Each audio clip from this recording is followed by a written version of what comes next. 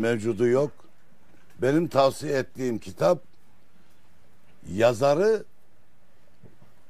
bir Alevi lideri, Şia lideri olan bu kitaptı. Bunun kolaylıkla bulabilirsiniz. Bu bizim yayın evinden çıkmıştır. Bu zat Musa el Musavi'nin babası. Şu anda Amerika'da yaşıyor. Babası Irak'taki Şia'nın reisil ulemasıydı.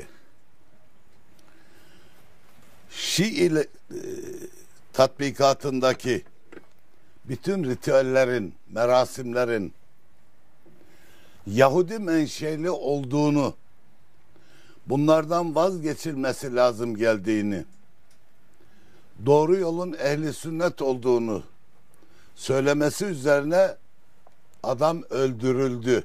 Suikastle öldü. Oğlu da Amerika'ya kaçtı. Bu kitabı da Amerika'da yazdı. Orijinali İngilizcedir. Biz Arapçasından tercüme ettik. Benim tavsiye ettiğim kitap budur. Şia ve Şiilik mücadelesi. Musavi'nin kitabı.